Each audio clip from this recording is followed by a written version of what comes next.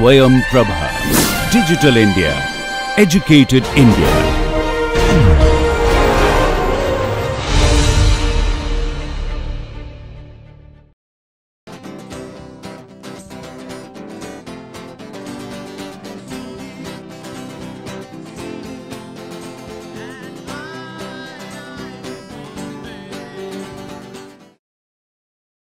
Welcome to MOOC NPTEL course on bioengineering an interface with biology and medicine.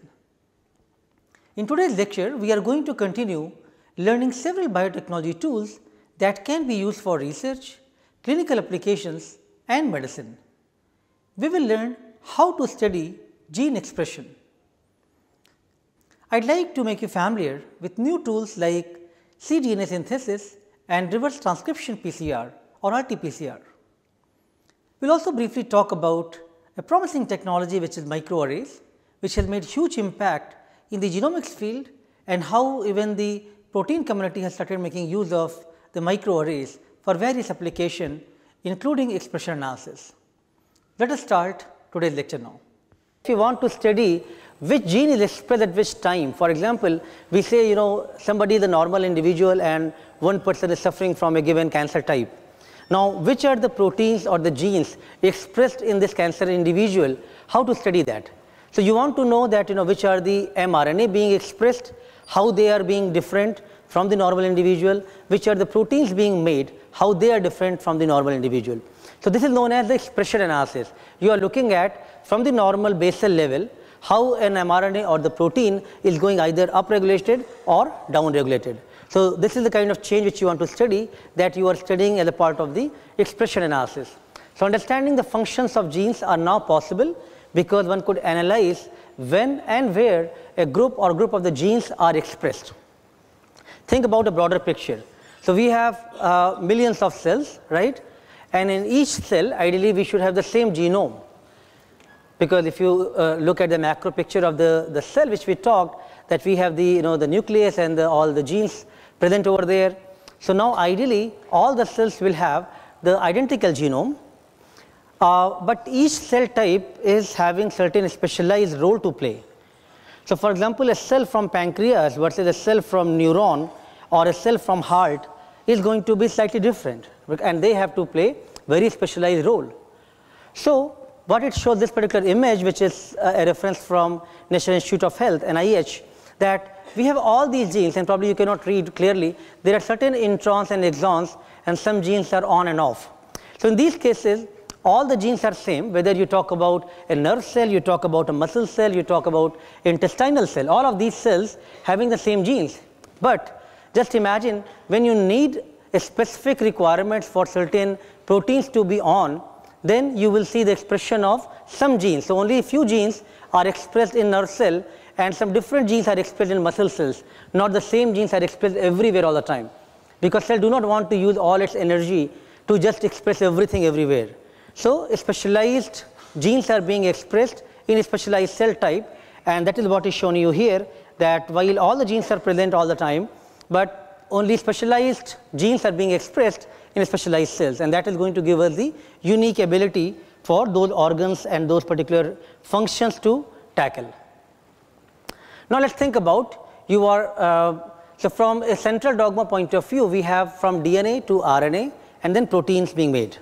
So, the mRNA which is the first functional information which comes out from the static genome, if you want to derive that sequence. So, let us say this is the DNA sequence of uh, you know given uh, gene of interest we have. What will be the RNA sequence from it? So, you are just making everything complementary just keep one thing in mind that rather than having uh, T, you have the U here. You have uracil, right? So, if you had to make the complementary sequence of this DNA and convert as mRNA, which I think you should try out and, and this is very simple exercise for you to do.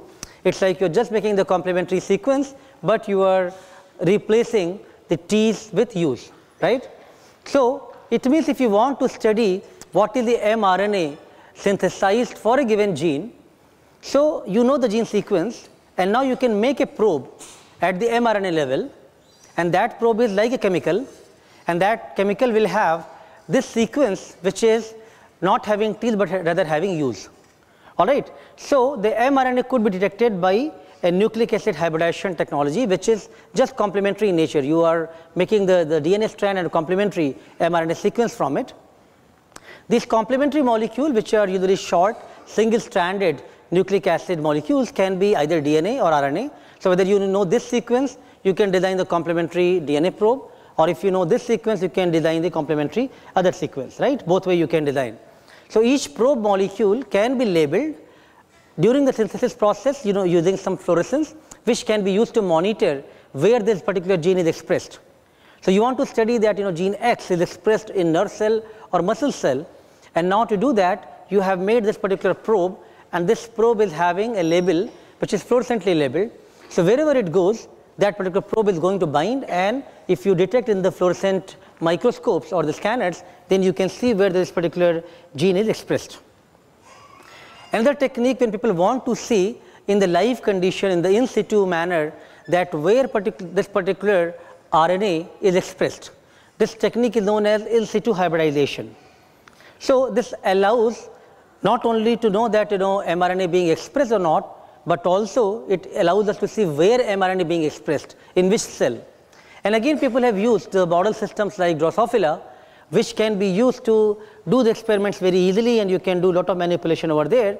So, in this case you know what you see here at Drosophila is structure uh, and lot of these uh, interesting colors which you see are actually from different fluorescence patterns which people have used as the labels for labeling different type of RNA.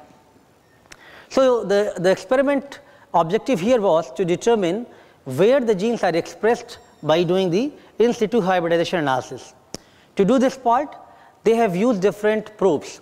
So, when I say probe, it means you have synthesized, if you had known the mRNA sequence of a given gene, then you have made a complementary DNA probe from it and that you have labeled with certain fluorescence tags. So, in this case, let us say we have made this probe which is for a gene which is wingless gene, WG. So, this gene has property to make a wing or not, not make that wing and again that if you play with it you can make the wild type or the mutant forms of these genes, right. So, you have made one probe which is with yellow color which can hybridize with mRNA and that can show you where these particular uh, yellow genes are being expressed which is for the wingless property. And you have also made another uh, probe DNA probe which is a blue probe which hybridizes with the mRNA cells which are for the engrailed or EN gene. So, now by uh, using different type of probes from the, for the yellow color and for the blue color you, you have made these probes and you can see that where these particular mRNA is being expressed in the cell. So, it is very interesting experiment because you can see in the live conditions in the whole of the fruit fly where the gene of your interest is being expressed, but just by playing with different colors. So, just imagine how much you know progress we have made in knowing these sequences and these technologies that not only you can determine that you know a, a, gene being expressed or not, but also you can see in the live condition where being expressed and you can use different colors to actually uh, show the different patterns. So now if you your interest is to look at large number of mRNA comparison, uh, as I said from a disease conditions versus healthy individuals, uh, there are many methods which are being used uh, in addition to what we just talked. One method is also based on the polymerase chain reaction but that method is reverse transcription polymerase chain reaction which is RT-PCR. If you just think about the central dogma from the gene sequence to mRNA that process is known as transcription and from that mRNA to the protein is translation. Now just imagine the reverse of it from the mRNA you want to make the, the, the, gene or the DNA. So then what will be that process known as reverse transcription because you are not doing the transcription in the forward manner, but reverse transcription is happening, right. So, people have used reverse transcriptase polymerase chain reaction to look at the expression of the mRNA, which uses the enzyme reverse transcriptase and the same technique which we just talked about polymerase chain reaction and agarose gel electrophoresis, these are all common techniques being used for doing this process. So, your interest is now to look at the expression at the mRNA level but to do that, you are actually making the complementary DNA, cDNA. Okay? This is little complex, but let's kind of uh, go through it. So, you have mRNA population in this cell that mRNA can be converted into the complementary DNAs, cDNA and, and I will talk to you about how that can be done. Now, from this cDNA you can do the PCR amplification for given gene of interest which you want to see uh, amplification happening and then those you can do further resolve on the gel to see the how specific that band is it correspond to the right gene or not. Alright, so then uh, this involves three major steps of first is doing the cDNA synthesis, second is PCR amplification and third is the gel electrophoresis, right. So, the first part is most crucial here, let us look at that in, in some more detail. So, in the cell we have all the mRNA and now we have to add certain uh, reagents, certain components which can convert that um, mRNA to the uh, cDNA form, right. So, the very first thing is you can add the reverse transcriptase. Now, this reverse transcriptase is go ideally going to uh, be involved in converting this mRNA into the cDNA, right. Just imagine in any given mRNA sequence, the characteristic feature is that you have a poly A tail. It means you have multiple of A bases in a you know continuous stretch. So, this is what you can see here as a poly A tail. So, you have many A's together. Now, this property is being used to identify the mRNAs because now if you make a primer and if that primer has oligo DT sequence, it means it has a multiple of T's in a row. So, it is going to go and bind to that mRNA. So, therefore, you are specifically targeting the mRNA in this case. You have also added the reverse transcriptase enzyme and the poly DT primers. So, that is, that is first thing then now the reverse transcriptase is going to start making the first DNA strand. So, the red one was your RNA and now you are making a DNA from it which is blue in color. Okay. So, now slowly because of this enzyme and the primer which you have already provided, now you can start seeing the synthesis happening at the DNA level and now you are adding certain enzyme like RNase H which could degrade this particular mRNA. So, now because you do not want a population of both RNA and DNA together, you finally just want the cDNA which is complementary DNA sequence. So, you want to degrade even the RNA sequence from it. So, to do that you are adding some enzymes which can degrade mRNA and then you are adding DNA polymerase which is helping to synthesize the second strand of the DNA.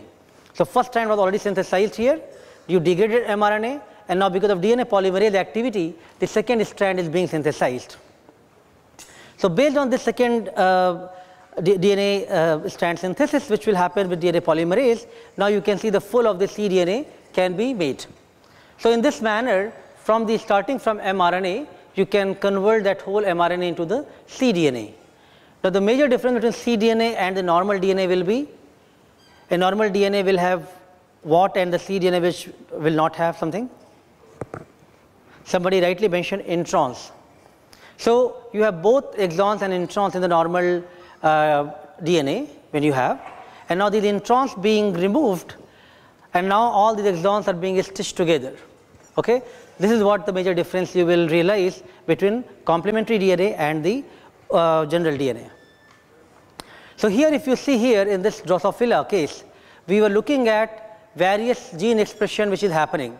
So, last time we looked at the mRNA profile so, uh, intron the in, from the intergenic regions, they also have some genes, but these are not uh, going to be formed for the overall protein production.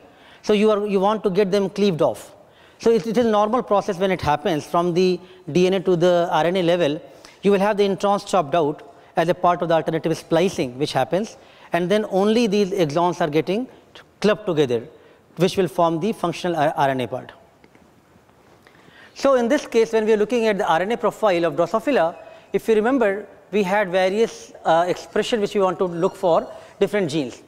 In this case now let us say we are looking at the uh, expression level from the uh, cDNAs, right. So, for those cDNAs now after doing the three steps of first of all the doing the cDNA synthesis, then polymerase chain reaction for that given gene and third is the agarose electrophoresis after doing all those three, then you can see that what happens at the electrophoretic level for this gene of interest which you want to study. Please do uh, you know take the notes carefully because uh, some of these steps you may have to write somewhere for a given experiment. So it means if the context is that you want to study only the expression of a given gene, it means you are looking at only the complementary DNA. To do that, the very first step you have to go back to this particular uh, work steps which we had talked. You have to go first from the mRNA, convert and show how the cDNAs can be made. And then for that given gene of interest, you are designing the primers. You are amplifying that gene of interest using polymerase chain reaction at this level here. And then you are amplifying that product you are running on the gel to find out is the right size for the given gene is being amplified. So you are doing this whole steps in multiple kind of steps are involved in doing these kind of experiments. So uh, please do write stepwise procedure if we ask you for a given experimental condition that how can you uh, see that. So in this case I'm just showing you a gel profile for a given gene expression. But to achieve that particular gel profile there have been many steps which have been performed already.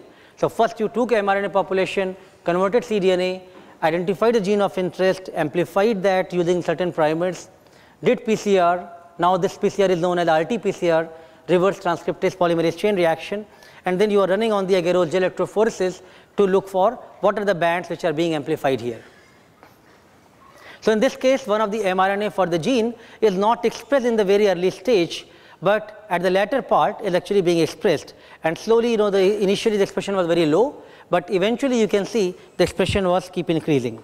So these are the kind of thing which one could uh, get an idea that for the developmental stage that which genes are present at which developmental stage.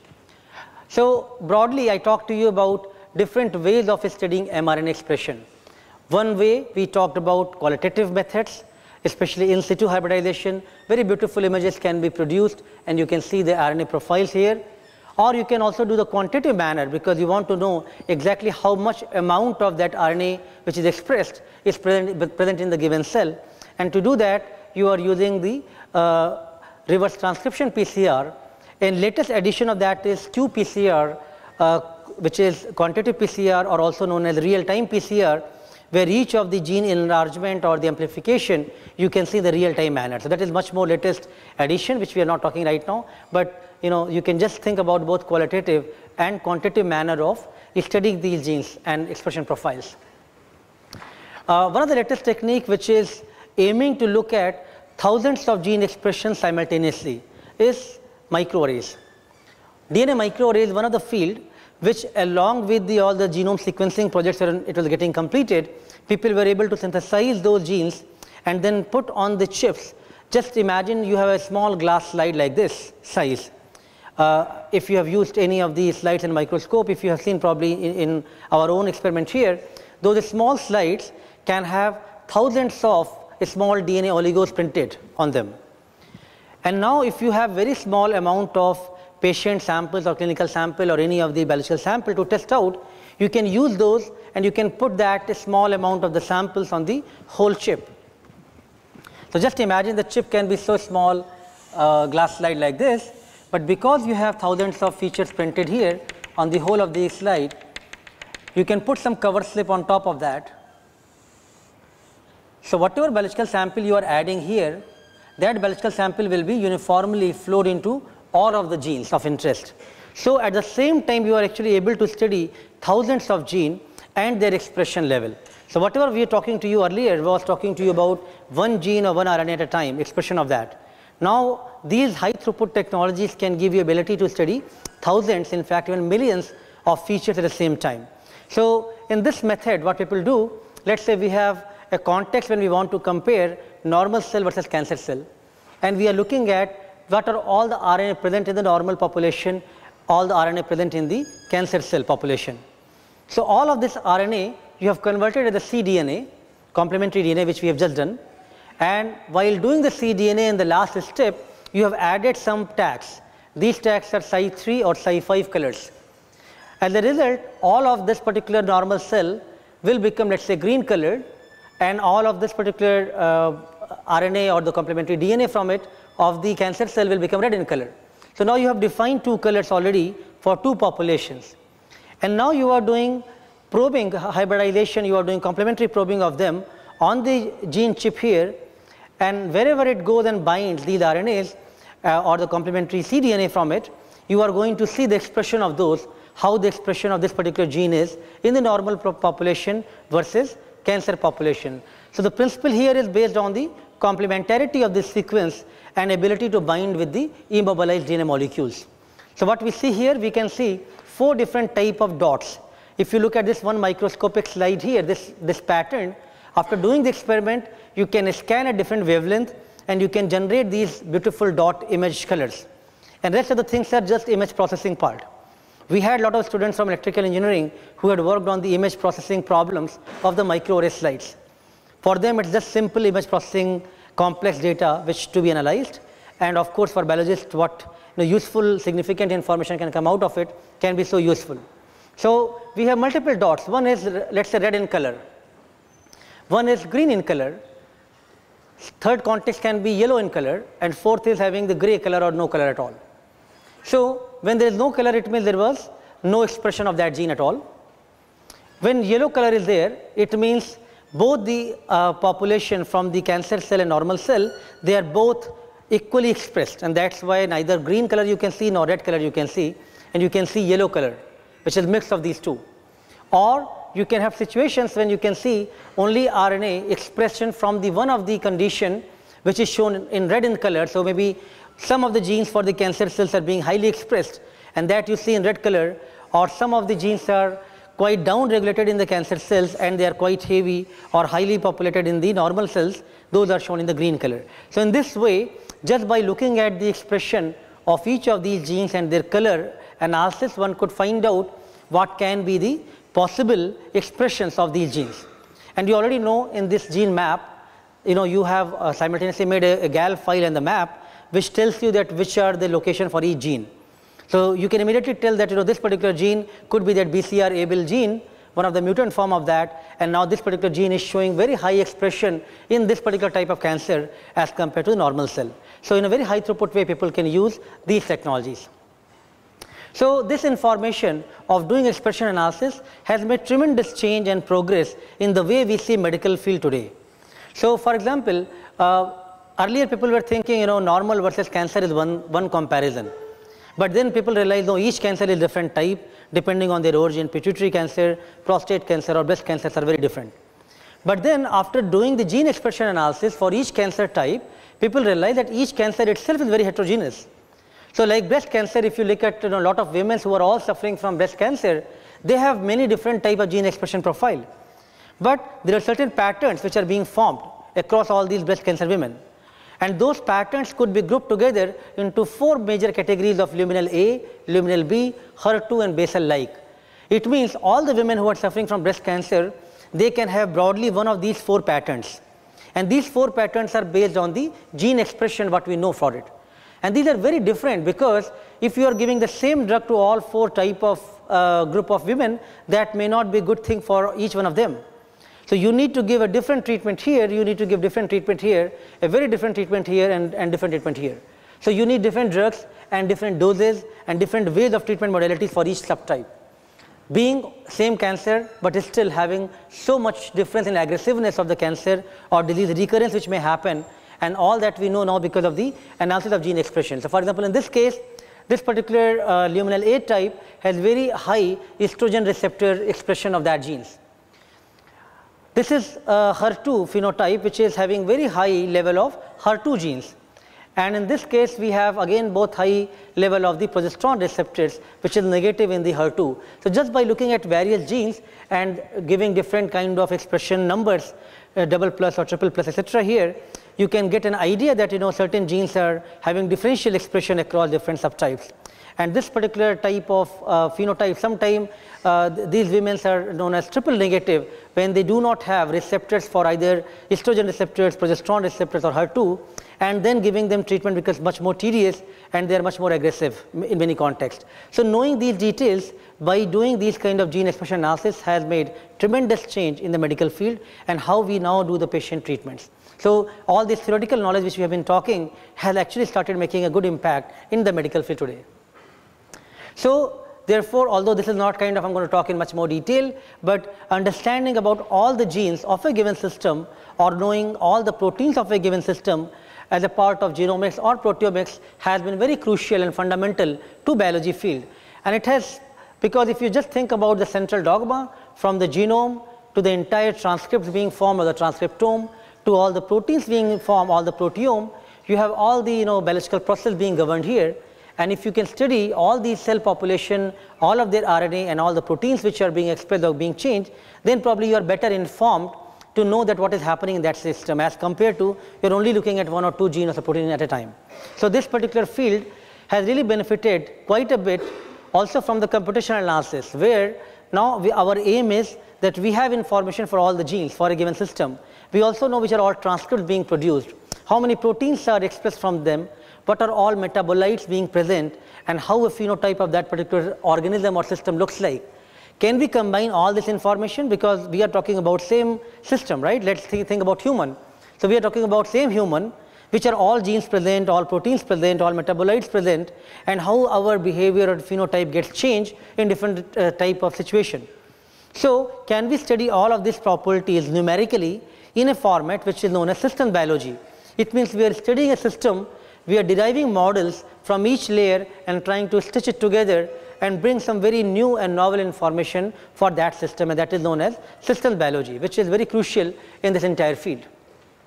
So, uh, these are some of the examples from your book where you know a lot of uh, revolution has happened because of our advancement in understanding genome and proteome and these are apparent in every single field whether you think about even conservation biology, look at evolutionary studies, species interactions, paleontology and of course I have been talking much more in the medical science context. All of these fields have benefited heavily for knowing that you know what can happen at all the gene sequence level and all the protein levels. Today we learnt about some very essential molecular biology tools that can help us to study gene expression. Some of these technologies are so generic that it could be employed for any biological applications. Whatever questions you might want to address and you want to look at the perturbations of genes, they are going up or down regulation in response to given stress, in response to any disease condition. All of those things are possible by employing these kind of uh, biotechnology tools. We also learnt about the significance of learning the differential gene expression and how it could aid in the patient diagnosis. Furthermore, we now know that these tools are of paramount importance for the clinical decision making especially you know for the drug delivery and many therapeutic interventions.